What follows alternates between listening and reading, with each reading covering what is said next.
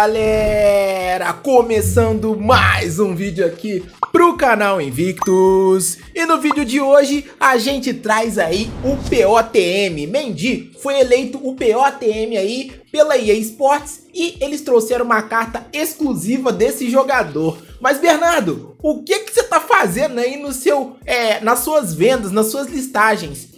Sim, galera, além do POTM, gente, a EA também trouxe hoje uma promoção rápida de primavera. E sabe qual é o efeito disso? Sim, derrubar o mercado, gente. O mercado que estava muito alto, agora deve cair bastante. E é uma hora boa para começar a investir coins. Mas isso não é assunto para o momento.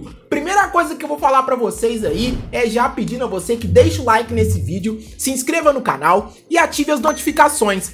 Gente, a hora que eu vi lá a notícia do lançamento do Mendy como POTM, gente, a primeira coisa que eu vi no meu time secundário fiz foi vender, porque uma carta de goleiro lançada, quando ela, na verdade nem uma carta de goleiro, né gente? Uma carta de alguma posição que ela é lançada e que tem muita quantidade pipocando no mercado, ela faz as cartas daquela posição praticamente despencarem de preço e já estava baixando quando eu vim aqui correndo e botei para vender. No fim, galera, eu perdi mais ou menos um milhão de coins nesse jogador, mas para nossa conta aqui secundária, gente, faz muita diferença esse dinheiro, tendo em vista que eu devo resgatar o Mendy porque eu já tenho pontos do torneio passado e trazer para essa conta aqui.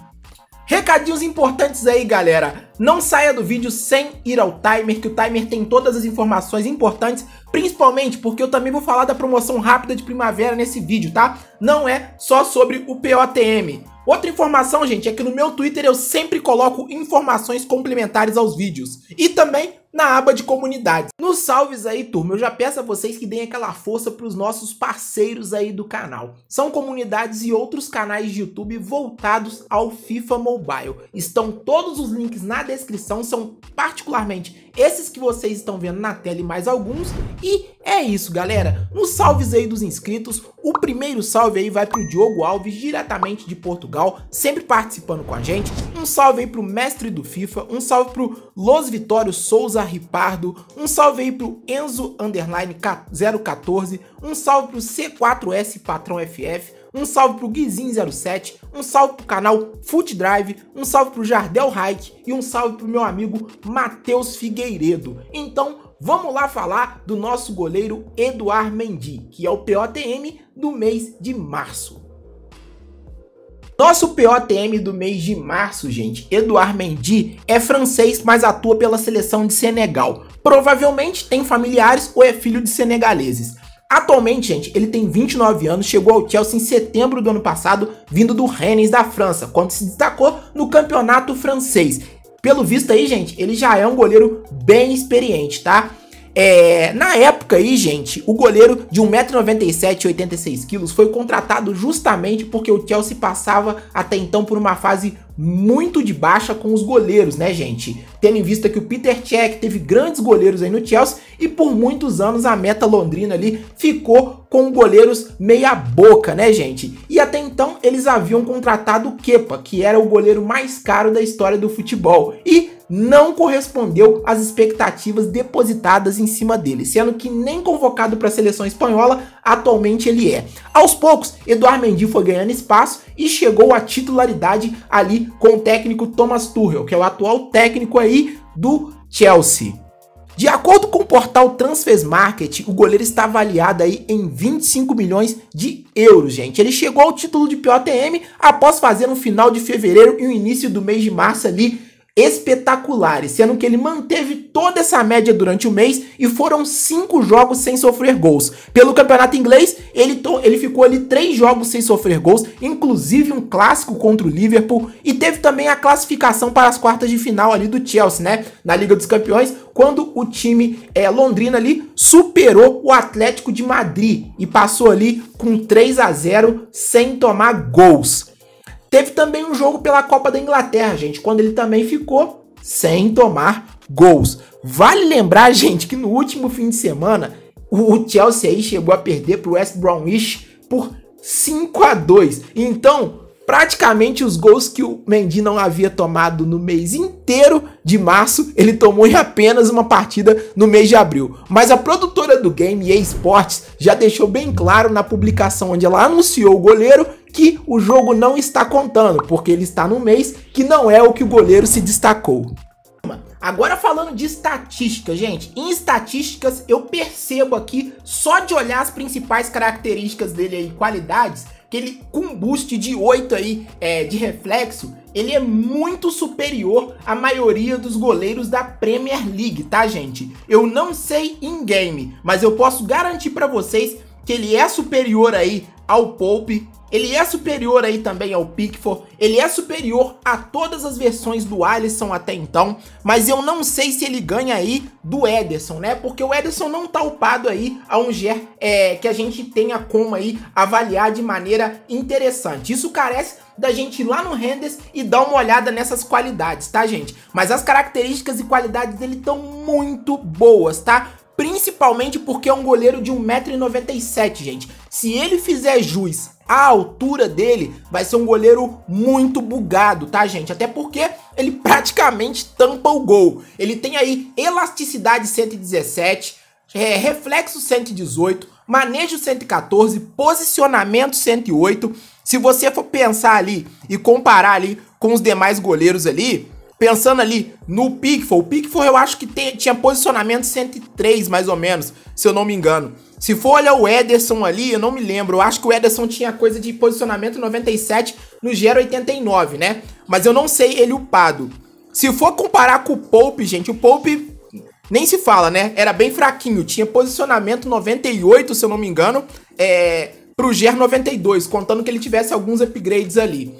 Galera, tá uma carta espetacular, eu gostei muito, tá? Vai ser uma carta que vai entrar nessa conta aqui, com certeza, porque eu já tenho alguns pontos aí, que juntando com os pontos, independente do meu desempenho no torneio, vai dar 100 pontos e eu vou pegar essa carta inteiramente grátis. Logo, eu praticamente lucrei aí, né? Vendi o meu goleiro, ainda coloquei umas coisas no bolso e vou pegar um goleiro de graça. Sobre o torneio, gente, aquelas dicas de sempre, que muita gente vem aqui nos comentários perguntar. Se você não tem muito tempo para ficar jogando torneio, gente, ou tem mais de uma conta, jogue duelos de ataque, tá? Que por mais que seja um pouco desbalanceado, você vai conseguir jogar as partidas por completo. Um contra um é indicado para quem tá com mais tempo para jogar ou quem joga em uma conta só e vai jogando as partidinhas aí ao longo dos dias. Ao todo, gente, vencendo 26 partidas de 30 que são aí as disponibilizadas pelo torneio, você vai conseguir 100 tokens POTM, 3 jogadores elite aí da, é, das seleções da semana do mês de março, tá? Contem todas as seleções da semana e 1 milhão de moedas, tá? Entrando aqui nas recompensas de marco, gente, muita gente pergunta, Bernardo, eu não tô conseguindo resgatar recompensa por recompensa. Turma, e iniciantes, você não vai resgatar recompensa por recompensa. Você vai apenas resgatar de acordo com a sua colocação final. Por exemplo, se no final das 30 partidas você conseguiu 9 vitórias, você vai pegar a recompensa de acordo com 9 vitórias. E é isso, beleza? Pontos que você ganhar lá onde eu mostrei, gente, lá na sua colocação final, você vai gastar aqui nesse pack, tá? que só com 100 pontos que é possível abrir. Você vê que eu tô com 65 pontos, mas eu ainda não joguei o torneio, tá, gente? Você com 100 pontos consegue pegar o seu Mendy aí. Falando dos packs aqui dessa aba agora de POTM, gente, nenhum desses packs aqui vale a pena, tá, gente? Por mais que você fique muito pertinho ali de pegar o Eduardo Mendy, a melhor coisa que você pode fazer é juntar umas coins e pegar ele via mercado, tá, gente? E pode talvez ser uma carta muito boa pra gente investir, mas a gente não vai falar disso hoje porque a gente depende de ficar acompanhando o mercado para ver como ele vai se comportar com essa quantidade de packs aí que apareceram hoje. Falando em quantidade de packs, hoje aí surpreendeu a todos nessa demora aí, a gente não sabia porquê, mas talvez fosse por causa disso aqui. Por causa dessa promoção relâmpago de primavera, gente. A EA trouxe várias abas aí recheadas de ofertas pra gente comprar. Apesar disso, gente, primeira coisa, gente, tem essa aba aqui que é grátis, né? Tem aqui que você ganha aí a cada 20 horas é, qualquer item de primavera, né? Que são moedas, impulsos e XP de treino. Eu vou abrir aqui, e vou resgatar aí uma recompensazinha, meio que um prêmio de consolação, né?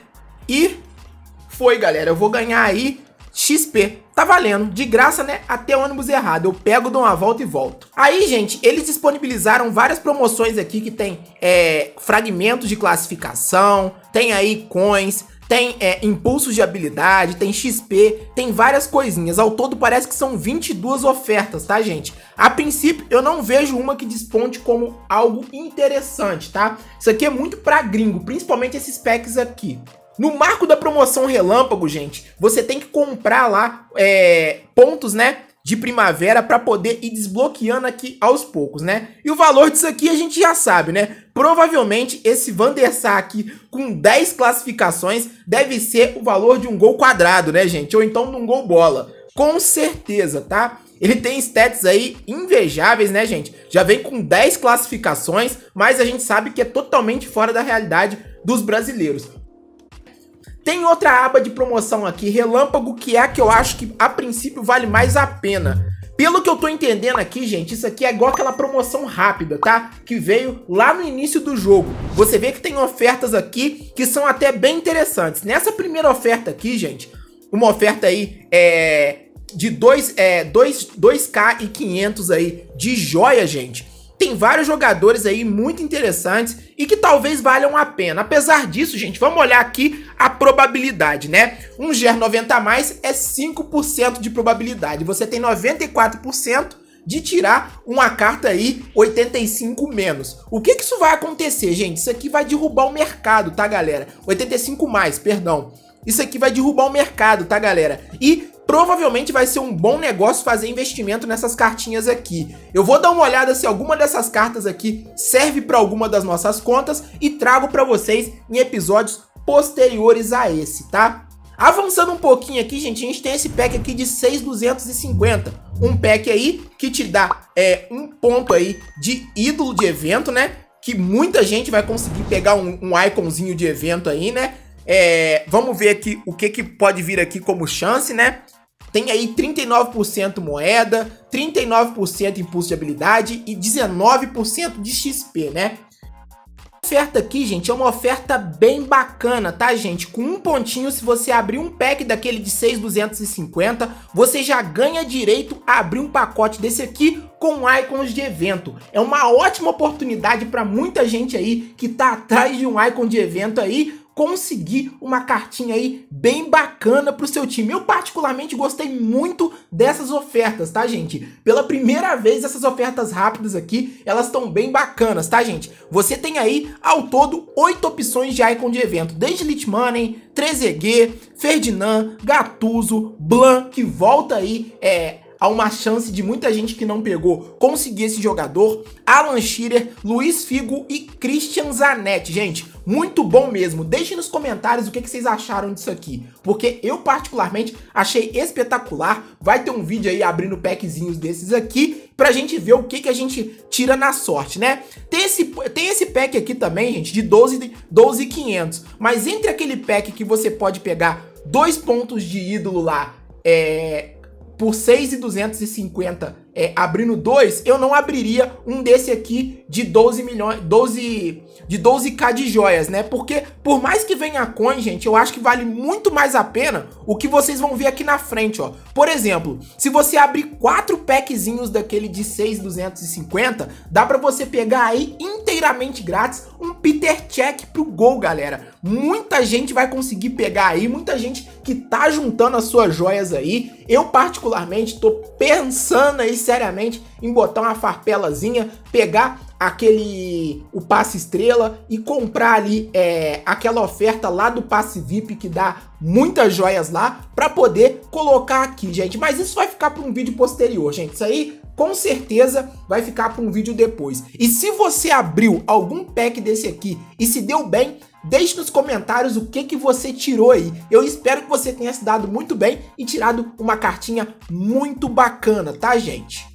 Lembrar, galerinha, que a página Fute FIFA Mobile Brasil, que traz a tabela aí atualizada com goleiros aí de acordo com estatísticas e experiência dos próprios players, com certeza deve trazer uma nova tabela aí com o lançamento de vários jogadores acessíveis. E com certeza o Eduardo Mendy também vai ser incluso aí nos próximos dias. Fiquem de olho e o link vai estar tá na descrição do vídeo.